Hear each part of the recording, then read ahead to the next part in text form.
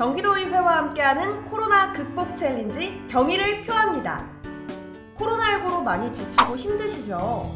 경기도의회와 함께하는 경의 챌린지를 통해 코로나19로 고생하고 있는 나, 그리고 주위 분들에게 응원과 희망의 메시지를 전달해주세요. 참여 방법은 간단합니다. 마스크에 경의라는 글자를 적어주세요.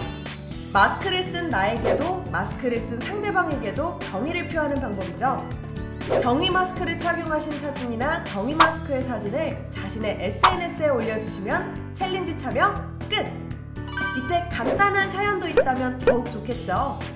챌린지 해시태그도 잊지 말아주세요. 추첨을 통해서 챌린지를 참여하신 분들께 작은 선물도 드리고 있으니까요. 많은 참여 부탁드립니다.